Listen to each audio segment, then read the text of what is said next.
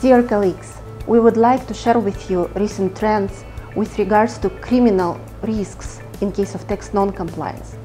What would happen if your company has committed tax underpayment? Alongside with fines and penalties, criminal investigation could start. And currently, criminal risks are at the highest level. When did the last tax audit take place? Or maybe your company is subject of tax inspection right now? Or you are already appealing results of tax audit? If not yet, what are the chances that your company will be selected for tax audit soon?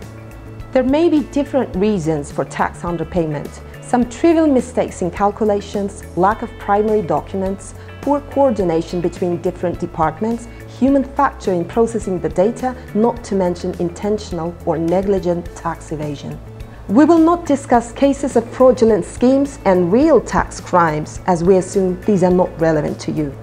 In today's world, with transparent and instantaneous transmission of bad news on social media, the great majority of companies strive to be compliant in all aspects, including tax. Stakeholders such as employees, suppliers, shareholders, regulators know immediately if you are not compliant. The threshold for the assessed tax liabilities for criminal investigation by the Economic Investigation Service is around 140,000 US dollars. This is a very low figure indeed, especially when the tax audit covers five years.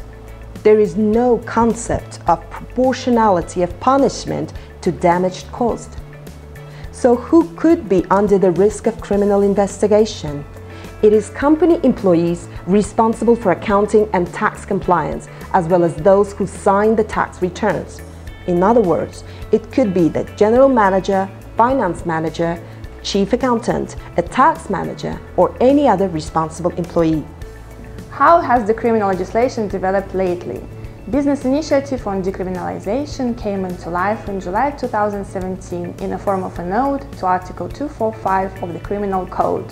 The intention of such amendment to legislation was bona fide, but in practice some EIS officials that are aware of voluntary payment of taxes, in order to release the company's employees from criminal liability, offer such employees to sign a plea bargain. This is in nature is an admission of guilt, meaning that certain employee shall admit that he or she is guilty of tax evasion. How acceptable is this compromise to you personally and to your company?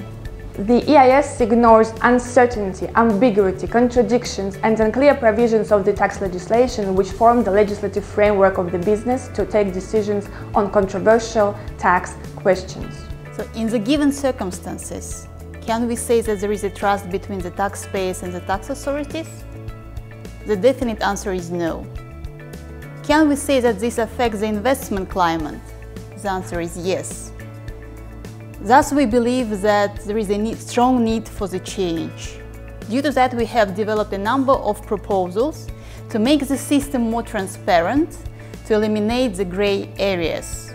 Because we definitely believe that the investigators and the tax authorities have to determine if there actually was an intention to commit the crime.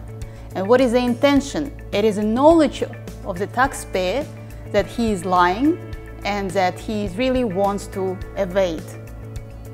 By means of business associations, we have recommended the government to reconsider the threshold for medium and large-scale businesses. Best international practices should be considered for establishment of optimal and effective threshold. For instance, reasonable threshold amounts should be established in percentages to the turnover of small, medium and large businesses. If you are asking yourself a practical question, what can we do as a business here and now for our organization? We are ready to share with you practical solutions developed by our integrated team. Some of our team members have worked for prosecution office, some for finance, police and tax authorities. We also engaged our industry specialists. And of course, PwC expertise are ingredients for such integrated solutions. Although these solutions may not be a panacea, but they definitely would enable the company to take practical mitigating steps to strengthen your position.